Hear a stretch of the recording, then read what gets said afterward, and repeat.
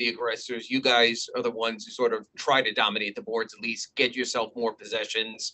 And instead, it sort of was, that turned into their game tonight. Like, what did that feel like? Did it feel like maybe you weren't yourselves?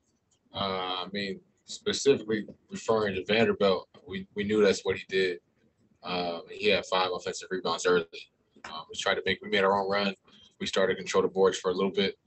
Um, and then they got away from us again. So uh, we kind of knew what their makeup was. We knew who they were. We just didn't fully control the, re- control the boards like you, like you said. the third quarter seemed like it was pretty not tense, but just there was there were some words exchanged and just pretty physical. What what, what was it like out there in the third quarter? Um, just overcoming all that. Yeah, I mean, they were throwing us to the ground, do whatever they wanted, and and do it back. It's plain and simple, just like it looked. Just like it looked.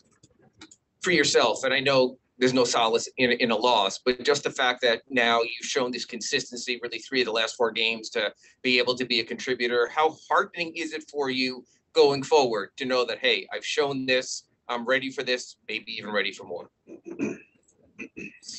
I'm, I'm just trying to get the win. I mean, like you, like you said, uh, that's, that's what it's really about, trying to get a win. I feel like I've shown I can contribute in, in different ways, so I'm not really trying to, to prove that. I'm just trying to get a win. Yes, sir. Maddox, go ahead. All right, we'll start with Couper Moorhead, Heat.com. Go ahead.